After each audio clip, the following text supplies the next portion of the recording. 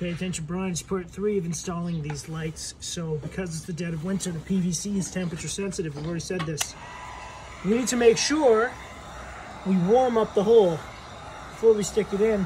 We want to avoid any tearing, chipping, or damage that could happen if the temperature isn't right. So we just warm up the cap just a little bit to make sure it's soft enough that it's forgiving.